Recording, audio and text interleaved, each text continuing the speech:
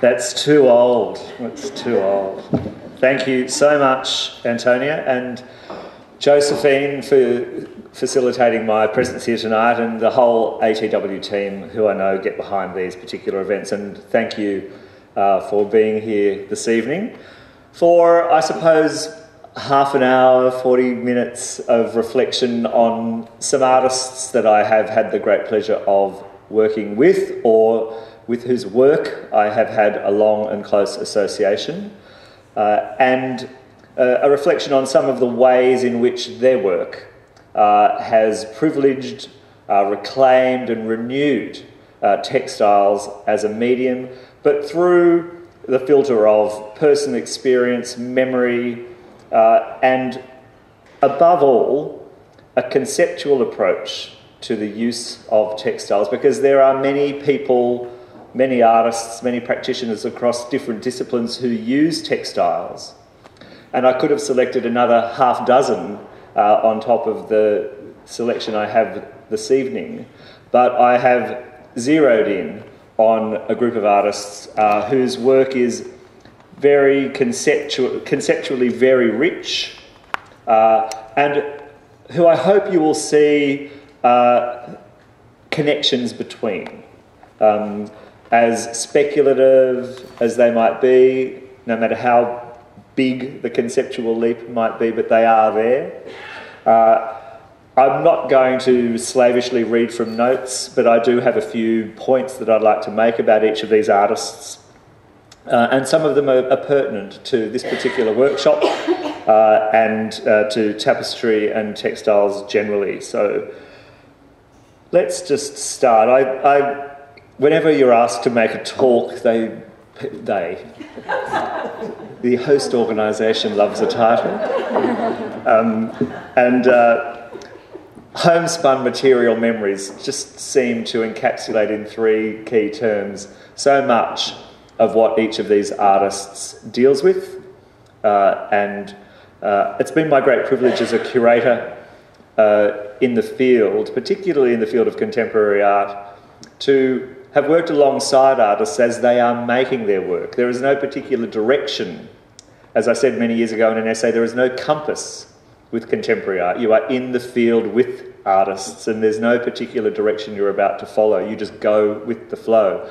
That's an enormous privilege, uh, and it's been wonderful over the past 25 years to have watched the evolution of certain artists' careers. So, this is a, a combination of venerable, late, iconic figures and emerging iconic figures.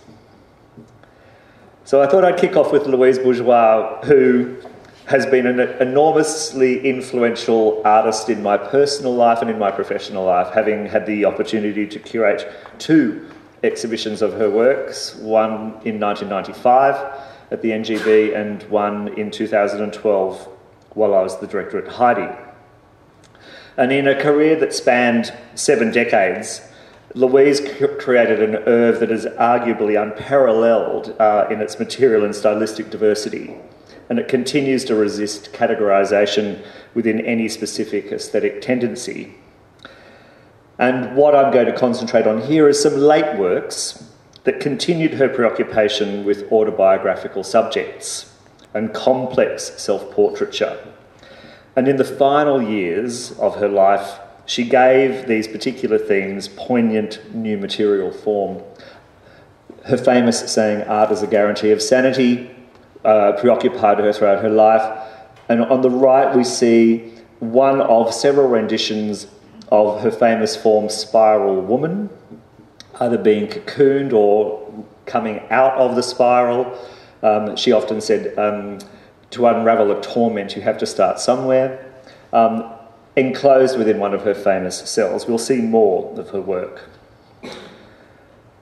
Louise's fabric sculptures and fabric drawings, as we'll see, uh, made during the last 15 years of her life, recycled and reconstructed her clothing and her vast collection of textiles.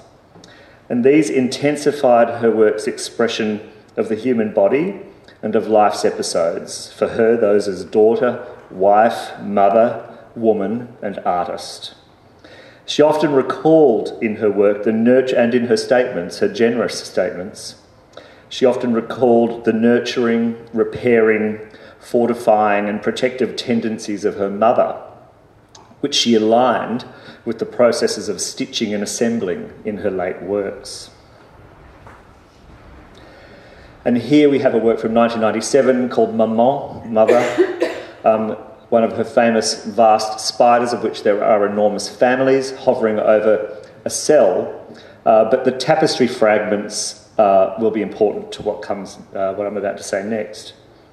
Louise's parents, Louis and Josephine Bourgeois, ran a tapestry gallery near their home on the Boulevard Saint Germain in Paris.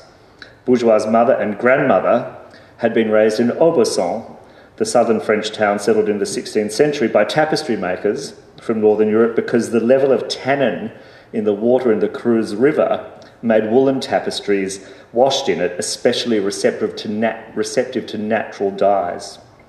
Tapestry making was the family tradition and it was its business.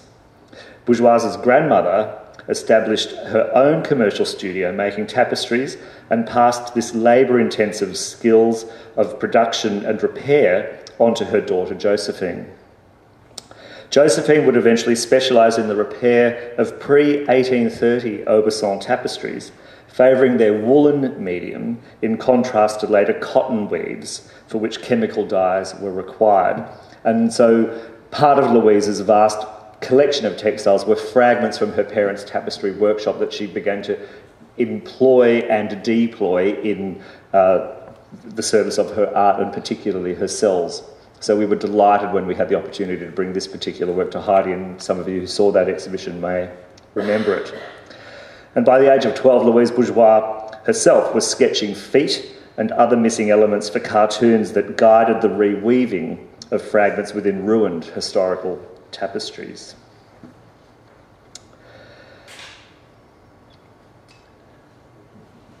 Louise said, The subject of pain is the business I am in, to give meaning and shape to frustration and suffering. What happens to the body has to be given a formal aspect.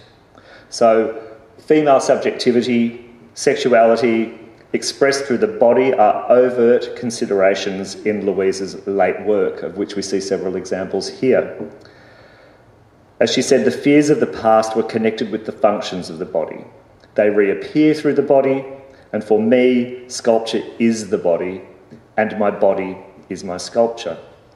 So there was a strongly figurative element through much of her work, but then when it was abstracted, it was abstracted in dialogue with some of the essential material forms of her mother's and her grandmother's craft and the particular medium that she would use. So the cotton spools, um, the abstracted pendulous rubber form, had a direct relation to the sewn, fragmented, strange physiognomies of the heads that really populated many of her late works, particularly hanging, hanging heads with no particular reference to family members, although the trio she often regarded as her children, um, and then uh, the more abstract elements of the spools. Around 1996, at the age of 85, Bourgeois began to mine her closets for the garments and textiles that she had worn, collected, and stored over a lifetime, and used them to make sculpture and what she called fabric, fabric drawings. And these continued a lifelong recall and articulation of familial dysfunction, desire and fear, anger and remorse, isolation and connectedness. She regarded these as her eternal themes, and in these late works, they were reiterated in degrees of figuration and abstraction, as I just suggested, to define and redefine an intensely personal narrative. At the end of her life, by weaving, stitching, and sewing, she threaded the past through the present and enacted a, pro- and enacted a process of repair and reconstruction. Blue Days, on the, le- on the right, left, I can't see. Blue Days is one of a number of works in which Louise suspended, stuffed, and shaped her dresses and shirts, sometimes adding abstract sculptural elements like the red glass sphere, that here operates like something of a nucleus around which the new sculptural bodies circulate. With its intimate relation to the skin and contours of the body, to time and seasons, clothing was used by Louise for its power to summon memory. As she said, you can retell your life by the shape, weight, colour, and smell of those clothes in your closet. They are like the weather, the ocean, changing all the time. And I'll just provide a little anecdote here that um, when we were installing this work at Heide, uh, this skirt element, which had to be attached, well, was attached to the mannequin, the coat is buttoned on, was a bit too creased as far as Jerry Gorovoy, Louise's studio manager, was concerned. She had died in 2010, this exhibition's in 2012. So we had to bring an ironing board into the gallery and very gently iron the skirt over the ironing board while we are holding the mannequin. And it was a very poignant, disconcerting, intimate experience because these were her clothes. And I had this split second moment thinking, as we do when we iron, am I going to be able to smell perfume or something more, you know, about her? But of course, that didn't happen. But it was a marvellous moment of, of great intimacy with her works. And Femme Maison, the hybrid form of Femme Maison, has a long history of configuration in Louise's oeuvre. In various media and degrees of abstraction, appearing initially in a series of drawings and paintings made between 1945 and 1947, The Woman House. But in this beautiful late work, the textured fabric affirms the central relationship of woman with the domestic sphere, and it's cut from a cardigan. And its coloration and fragmentation points to Louise's abiding interests in the beauty of classical antiquity and archaic images of woman, thinking of the Venus of Willendorf, for instance. And just a few more examples of a reiteration of forms, suspended hanging forms, alternatively in a position of repose and silence, or perhaps torture and torment. And then the, the tall, um, graduated figures are padded and, uh, and designed with uh, mattress ticking, blankets, uh, cardigans, and jumpers. But they come right out of a 19, very important group of works between 1945 and 1957 called the Personage, which were totemic works uh, that reflected Louise's personal relationships and represented particular people in her life. So she continued these, but they have a rather formal, uh, modernist, serial nature to them. Images of sex and sexuality, coupling, human relationships, the intensity of human relationships she did not shy away from in her late works. This is a work made in her early 90s. And then the fabric sculpture that gave such three dimensional reality uh, to her inner life uh, found its counterpoint uh, in fabric drawings composed from cut fragments of her dresses, among other textiles. And this is a suite called The Waking Hours, which is absolutely beautiful from a series of blue patterned dresses and silk chemises or sh- other shirts. Um, Louise, in her early sewn works, would do the sewing herself, and you could, and, and for those of us, uh, the curators amongst us who need to know whether she made it or someone else made it, the rough hewn stitching in the early fabric works is her. But there's a moment in her early 90s where she decides that she really can't do the kind of piecework that she wants to achieve the particular effects of the drawings of the waking hours, or indeed works like this, a suite, three works from a suite called The Dawn. So for 10 years, she worked alongside this marvellous seamstress called Mercedes. And Mercedes would come to the studio every day, and Louise would select the fabrics, determine the shapes, and Mercedes would do the piecework uh, and sew, hand sew um, these particular forms.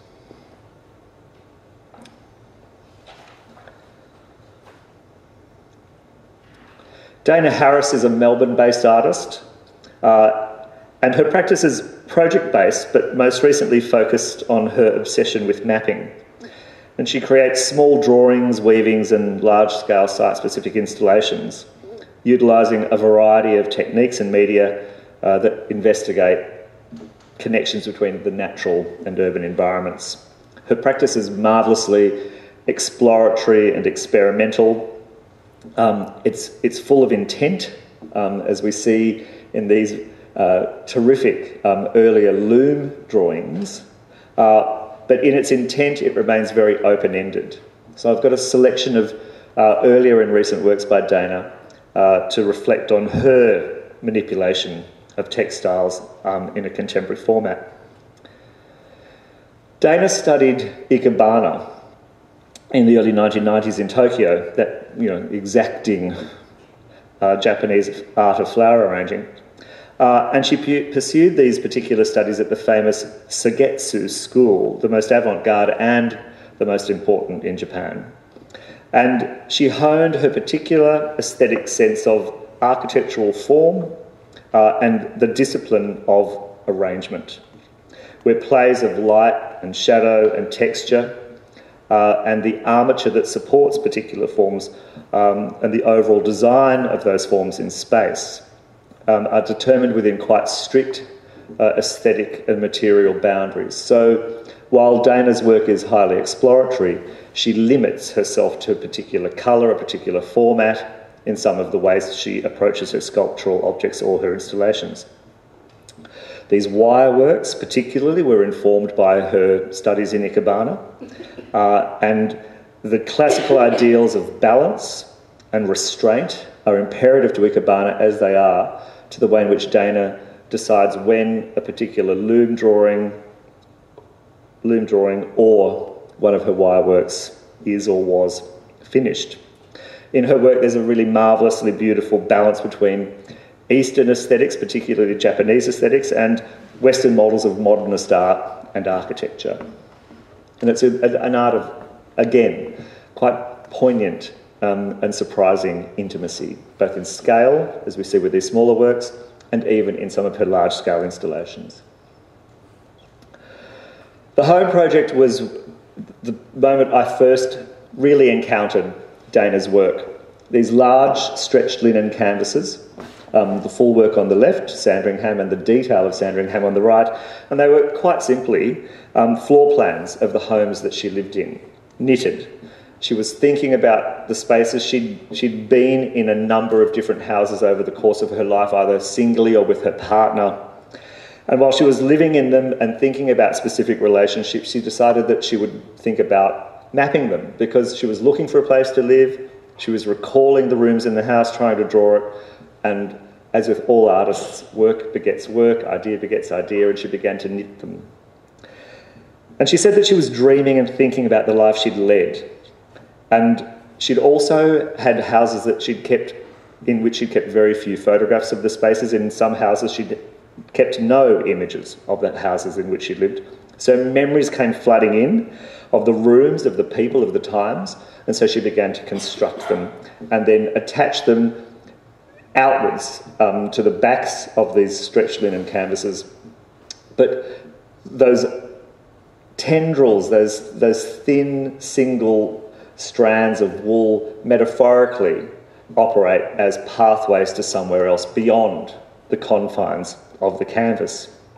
So each room was knitted in wool, cotton, or silk, then individually sewn, each room rather, cotton, wool, or silk, and then individually sewn together. It's a very organic process, and this is just one from a number of them. She's got a great website.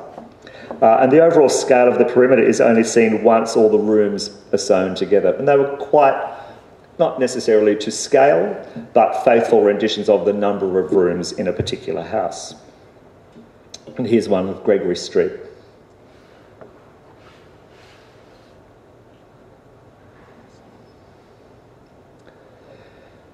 In 2009, I had an opportunity to consider her work in greater depth, uh, and this is a work called Location, which was included in the 2009 Yering Station Sculpture Exhibition and Awards.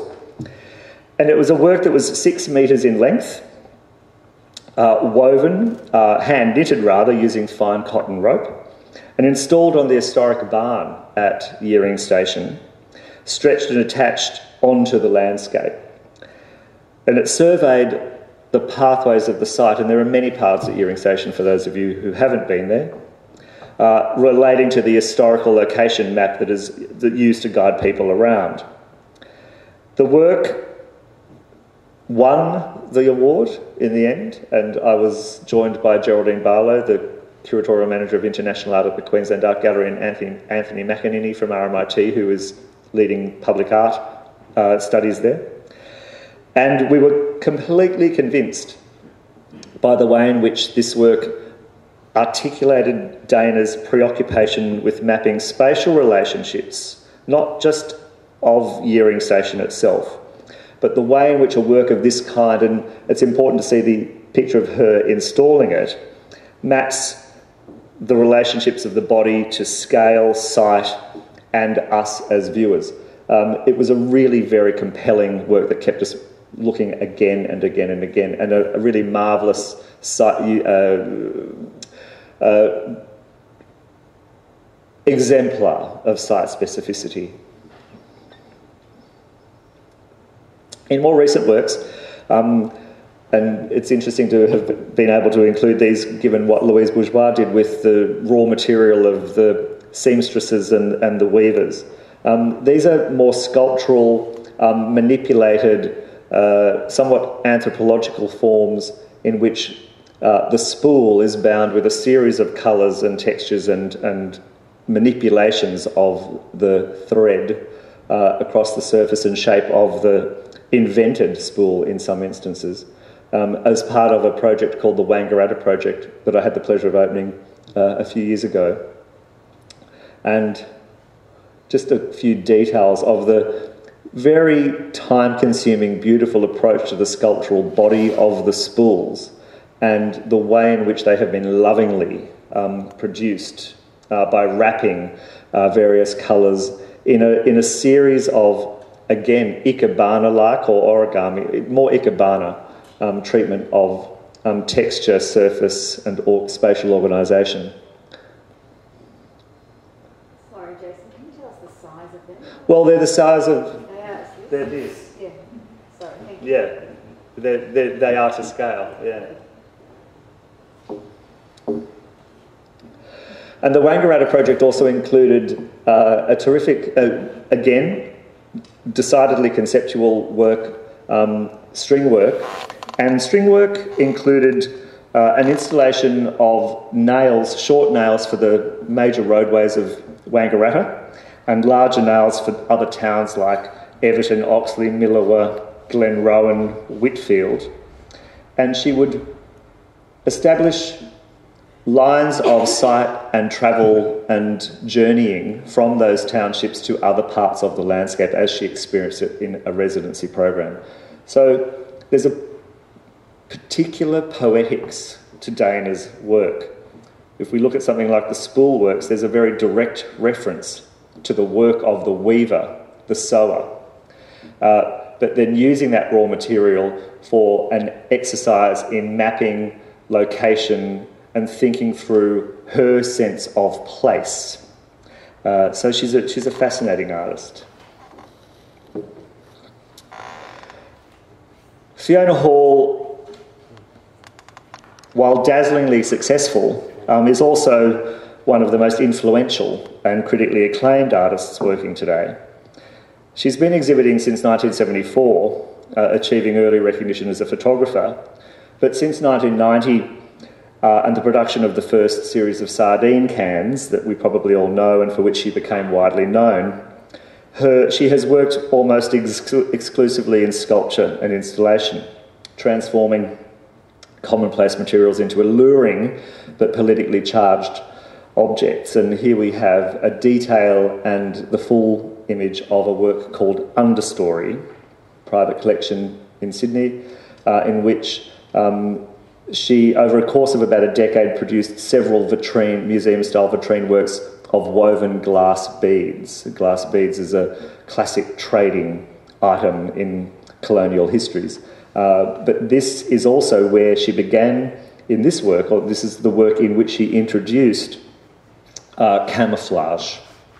Uh, camouflage comes from nature, appropriated by the military, as we'll see her further renditions of it in just a few moments, uh, but um, it was a way in which she was able to articulate um, some of the political charge of um, camouflage.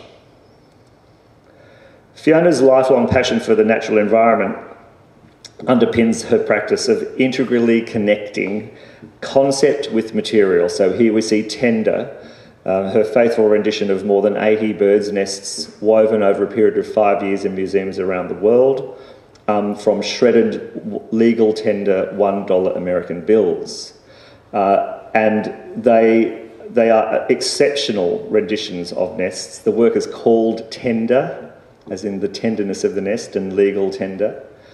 And when I asked her about the books in which she was faithfully transcribing every single serial number of the dollar bills so that she could record them, I said, Just how many serial numbers do you have? And she because she had to buy the legal tender to shred it. And she said, I've got 180,000 um, serial numbers. So this belongs to the Queensland Art Gallery, and it's just a tale of the investment that artists make in their work, and it's a particularly powerful statement um, that extends her environmental concerns. But it's where we see a great example of material marrying concept, marrying with concept. And her work consistently articulates tensions around three intersecting concerns global politics, economics, and the environment. And she sees each of these as a failed state, as, as she says, a minefield of madness, badness, and sadness, stretching beyond the foreseeable future. She is deft in turning her hand to many different materials, but this is one of three carpets that she has made over the last decade. and I want to concentrate on the work on the right, Maya. Um, because the carpets themselves are visually opulent, and in the case of Maya, its visual opulence and loaded content actually recalls the aesthetic program of someone like William Morris, but that's where the romance ends. Maya itself refers to the draining of the southern marshlands of Iraq by Saddam Hussein as punishment for the Marsh Arabs' support of the Shiite uprising against Hussein's forces after the First Gulf War in 1991. And the draining of the marshlands destroyed a pristine wetland ecosystem and forced the majority of the inhabitants to flee. The background pattern for Maya reproduces the three coloured desert pattern that is the US military's camouflage worn in Iraq. And for Hall, the use of the pattern underscores the military's presence in Iraq as both the background to and catalyst for appalling environmental degradation caused by both the first Gulf War and subsequent conflicts. She doesn't just blame the Americans, but this is the beginning of her deep research and use of uh, camouflage and textiles. Maya also depicts 14 plant species found in the Iraqi marshlands along with their local names in Arabic script. You can see around the borders and images of the water snake and frog, which remind us, as she does in so much of her work, that landscapes are sites of cohabitation and that the colonisation by one always results in the marginalisation of the other. So her work is deeply complex, and of course, clearing um, is a little more self evident um, in the disappearance of birds from particular landscapes. Her work has become darker and bleaker um, in recent years and was particularly dark and bleak in the Venice Biennale last year. And works like the Siberian tiger morphed into other uses of camouflage, um, like Portrait of the Victor with the Sri Lankan military shirt.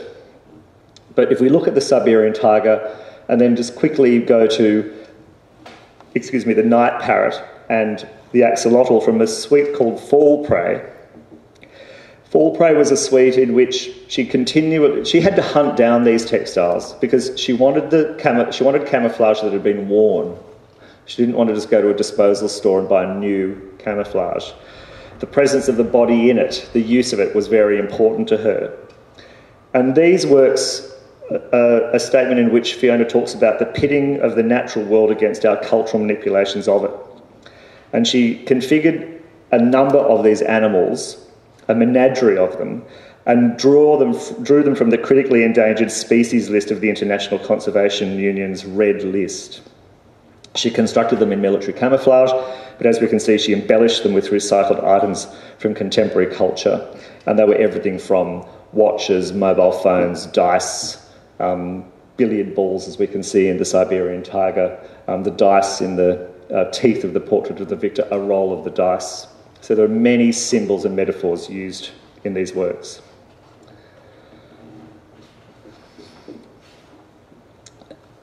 And another alternative reflection on natural history we can find in the work of Louise Saxton, who is also a Melbourne based artist. And for the past 15 years, her work has centred on reconstructing the detritus from the home, including collections of everyday business envelopes and vintage walls, wallpapers, discarded needlework, book illustrations, and domestic porcelain. But since the mid to late 2000s, her practice has engaged primarily with, reconstru- with, with the reconstruction of needlework. And the images I'm going to show primarily are from an exhibition uh, with which we worked, in which we worked with Louise at Heide in 2012 called Sanctuary. It's part of our Contemporary Projects program. Louise's reclamation and recollection pays homage to art historical ancestors and anonymous domestic needleworkers. The homage finds form in alluring, politically charged, and sometimes melancholic renditions of birds and insects that define Louise's converging interests in nature, loss, the home, and the intersecting visual and craft cultures and pictorial traditions of which she's a part.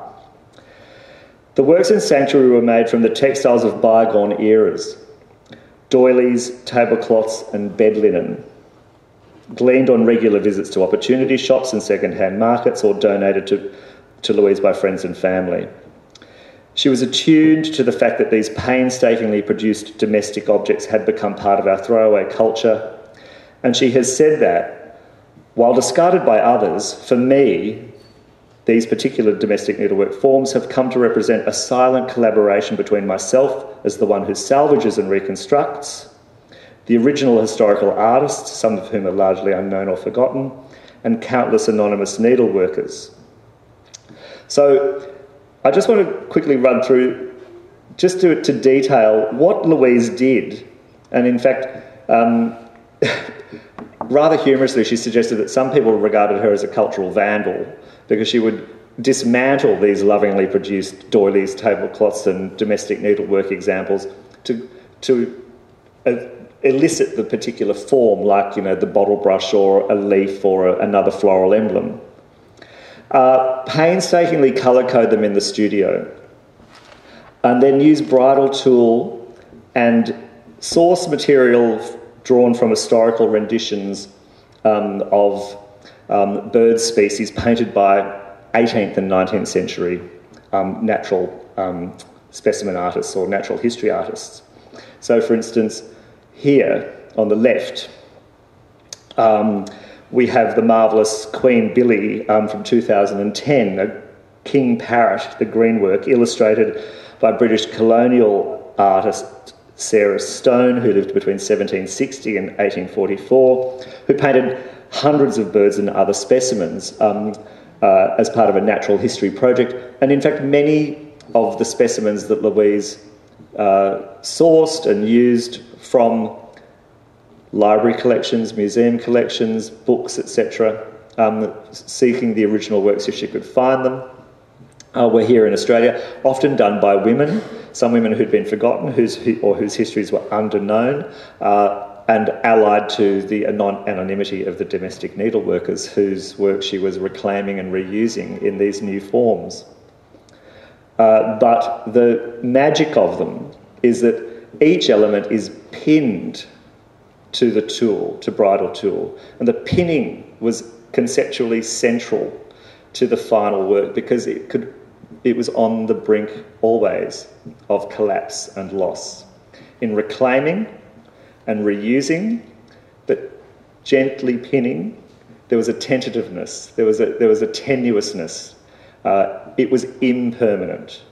Um, so here again, we have this marvellous um, ally of conceptual intent with material, reclamation, uh, a recasting of the forms in wonderful new renditions that speak about many things women, the history of women in the history of art, the uh, honouring anonymous domestic needle workers, and looking at the way in which species have been um, drawn, retained, and historically recorded over time. So they're quite marvellous reclamations, and they are painstaking. Um, and for instance, a work like the um, I can't remember what that bird's called, and I was so busy this morning I forgot to put the title on it. But um, they can take up to 5,000 pins.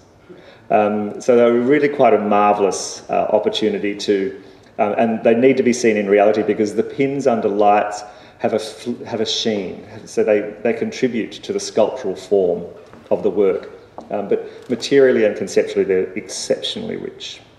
Um, and in recent years, in 2013, this wonderful heart garden, uh, which now uh, is in the possession of the St Vincent's Hospital, again, as you can see, made up from so many disparate elements.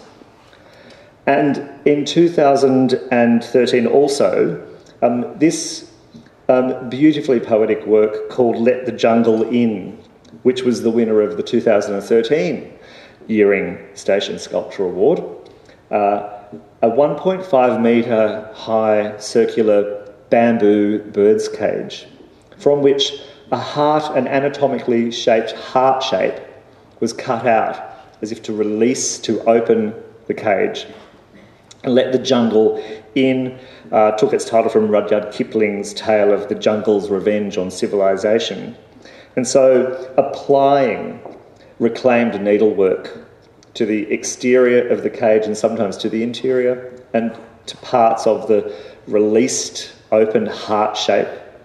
There was this marvellous transformation of the cage into nest and from the prison into a kind of sanctuary or home. So these prevailing themes um, throughout Louise Saxton's work. And of course, men. Needlework, textiles is not the province of women. Um, men have been making textiles for thousands of years, sailors and tailors. Um, and I've got just two to talk about because I can see that I'm running out of time. Um, David McDiarmid, who lived between 1952 and 1995, and who is the subject of several important re-evaluations, was an artist, designer, and political activist recognised for his prominent and sustained artistic engagement in issues relating to gay male identity. And he became very famous for a number of political active, politically active um, activities and, uh, and projects. Um, very famous for a series of what we call rainbow aphorisms, the most famous of which is probably I want a future that lives up to my past. But this is the one that I have on my door at my office at work which some new staff members thought was a little hardcore. I did put a smiley face at the bottom of the printout. Um, but it's part of it, it gives you a sense of just how acerbic and wonderful David was. In 1973, David met the jeweller Peter Tully, very well represented in many public collections, and they moved to Sydney, where they joined their friend and creative collaborator Linda Jackson. There's David and Linda at the top. And they very quickly soon began collaborating with fashion designer and retailer Clarence Chai and the Sydney based designer and retailer Jenny Kee. And we see Linda Jackson, Peter Tully, and Jenny Kee in the bottom photograph.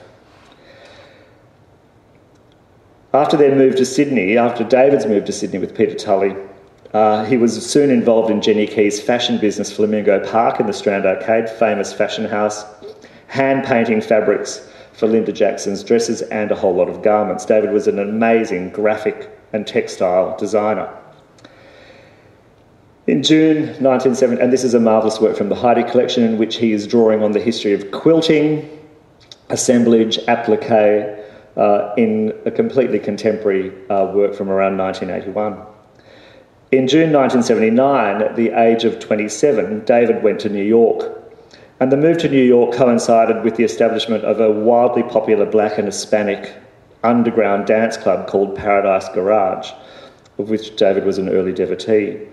And Paradise Garage also served as an inspiration for a suite of work to which McDiarmid gave the title Disco Quilts, produced between 1979 and 1981 in what was then the radically new material of reflective holographic mylar sheeting. Uh, he was an incredible manipulator of all kinds of materials, but he said that his interest in popular culture and popular culture materials was one thing, but his work was an intersection between folk art, women's art, needlepoint, patchwork, quilts, and contemporary materiality, using loud, cheap, vulgar plastics to make pretty pictures, as we see here in this disco quilt. But throughout the time in New York, he continued to supply painted fabrics to Linda Jackson, and in the bottom photograph, we see David standing in front of one of his most famous painted bed sheets or lengths of cotton, wearing rainbow clothes by Linda. He would send her drawings of what he wanted her to make, and they would. It was a marvellously productive collaboration. And this precipitated a very important first exhibition for David and a group of artists called the Art Clothes Exhibition at the Archive of New South Wales in 1980 and 1981 which also included new works by Linda and Jenny, just at the point that Jenny Kee, particularly, uh, was becoming that incredible force in Australian fashion that she was for the better part of the 1980s.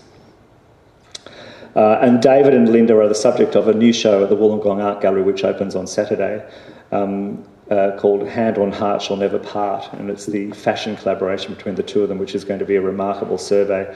It's the second part of the marvellous David McDiarmid survey mounted by the NGV a couple of years ago called When This You See, Remember Me. And just another close up and a rendition of the way in which the painted sheets would then be transformed by Linda uh, into garments. And David did a whole lot of other allied textile work in relation to weaving leather, chains, a whole range of things. But it was really his fashion collaboration, his textile collaboration with Linda. Uh, he would send her swatches of fabric um, painted with particular fabric paints, which gave her a completely new license, particularly silks and organzas uh, in the 1980s. Uh, so her fashion career, she acknowledges, um, owes an enormous amount uh, to David. It wasn't all wattle uh, and koalas and opals. And just a shot of classic examples um, of their collaboration uh, from the NGV show. And finally, another young man, someone who's very much worth looking at and following, is the marvellous Paul Yore, um, who is one of a, a, a, younger generation of artists, and there are half a dozen young men Alasdair McLuckie, Paul, um, uh, uh, Lucas Grogan. There are there are a lot of young guys who are exploring the history of textiles and and you know challenging uh, the uh, prescription of certain modes of practice to women only. Um, so, but Paul, over in recent years, um, has had what he called slow beginnings in needlepoint. Um, that he has taught himself rather slowly and rather randomly, uh, but that have helped him overcome a personal crisis. And uh, he regards, and this is, I kept it pretty tame. Um, for those of you who know Paul Yore's work, uh, they can be marvellously, wonderfully uh, hardcore. That's the only way to put it. Um, boys go crazy, that, or boys go wild. You know, use your imagination. Um, but stitching, sewing things, weaving, using fibres, um, he's been quite conscious of honouring what he regards as ancient processes. He believes there's something of a subversive element in choosing to work in and with slow, laborious methodologies of image making and object making in a digital age where everything, everything is expected to happen now. And in a conversation, he said to me that the words textile and text share a common etymology, the Latin texere, to weave. And this idea for him has been hugely important. Like a piece of writing, a cloth is woven together. And increasingly, he said, this coincidence has formed part of the conceptual rationale for employing this very labour intensive mode of production that he's undertaken with many different weavings. They are pieced together from many thousands of fragmentary pieces into a single unified form. He says this DIY constructedness, because they happen quite organically, is central to an understanding of his work. It's temporal, it's embedded in the love of hours and time on the couch, it's painful, purgative, and deeply emotional. But he says that while the colour, the subject matter, as biographical uh, and as challenging as it sometimes can be, um, owes much more to classical aesthetics than it does to contem- contemporary politics and conventions. Uh, in conversation, he says that he's researched medieval tapestry quite, production quite intensively, and the manner in which figures are woven to sit within the picture plane of tapestries. So there's this wonderful acknowledgement of the history and the discipline of which he is a part um, with these new um, works, which are highly detailed and, and lovingly produced. As well as hand-woven needle points, many of the textiles he cuts up and appliques are found or recycled, again, old bed sheets, doona covers or clothing. And so they also have some relationship with the domestic sphere, and again, as so many of these artists have had, with the body. So, with just six artists across cultures, across ages, across generations, with different lives, uh, for me, it's been a quite wonderful meditation on the way in which textiles, their manipulation through very traditional means, through avant garde means, through sculpture, through traditional tapestry, through the mining of the closet to the use of ersatz, uh, everyday materials, artists will always remind us of the warmth, the humanity, and the deeply personal connection we all have to fabric. Thank you.